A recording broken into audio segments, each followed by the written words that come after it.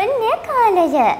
අප්‍රේල් මස 13 වැනිදා සෙනසුරාදා අපර භාග 2.41 සිට 14 වැනි ඉරිදා අලියම 3.29 දක්වා පුණ්‍ය කාලය බැවින් අප්‍රේල් මස 13 වැනි සෙනසුරාදා දින අපර භාග 2.41ට පළමුව ආහාර පානගෙන සියලු වැඩ අත්හැර ආගමික වතාවත්වල යෙදීමද පුණ්‍ය කාලයේ අපර කොටස තුල එනම් 13 වැනි සෙනසුරාදා දින අපර භාග 9.5 සිට 14 වැනි ඉරිදා අලියම 3.29 දක්වා කාලය තුල මෙහි දැක්වෙන අයුරින් ආහාර පිසීම වැඩ ඇල්ලීම ගනුදෙනු කිරීම හා ආහාර අනුභවය ආදී නැකැත් චාරිත්‍ර ක්‍රම ඉටු කිරීමද මැනවි.